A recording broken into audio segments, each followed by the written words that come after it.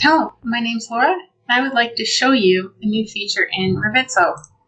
We now have the ability to add zone data to our issues and to our project. Let me show you how to do that. We can create zones in any authoring software.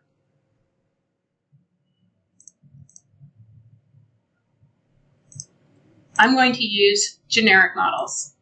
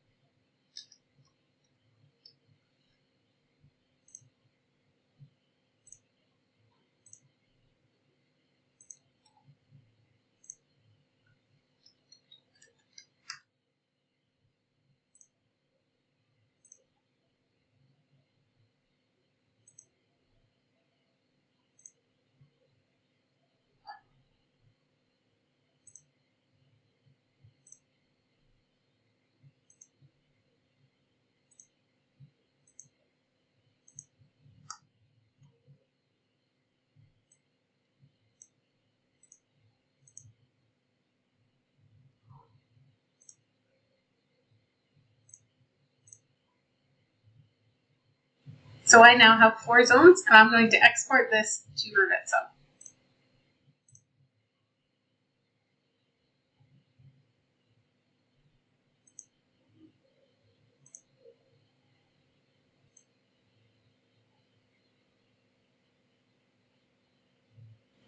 Let's see my zones in Revizto.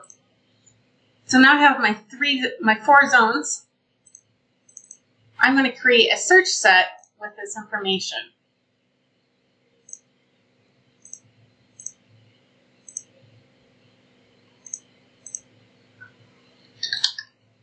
I'm going to use contains.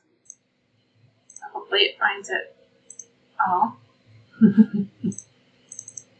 Let's use another piece of information.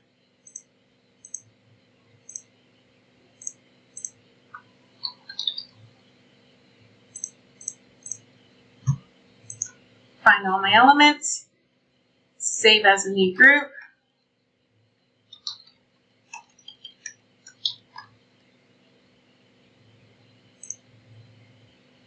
I want to move that search set into a shared folder, folder.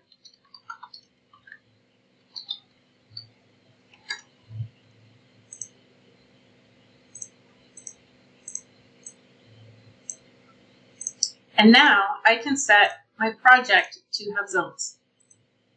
I do that by coming up to Edit, Project Properties, and selecting my search set.